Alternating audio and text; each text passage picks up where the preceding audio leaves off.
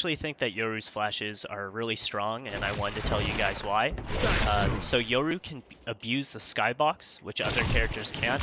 His flash doesn't pop until it actually touches the wall, so they can't see the flash going up to the wall, only after it uh, bounces off.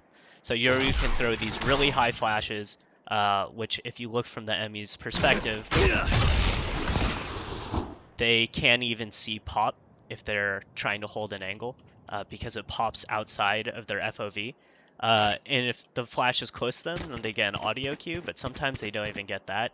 Uh, so say you're you know trying to retake B, uh, you throw a flash off this clock tower, the enemy that's holding market is going to get flash with no audio or visual cue because it's completely off their FOV. Same thing with CT.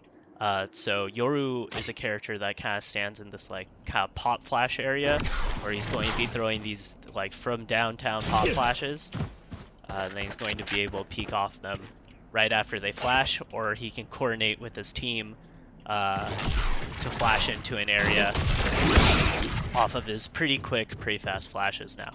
So that's why I think the future Yoru flashes are. Here,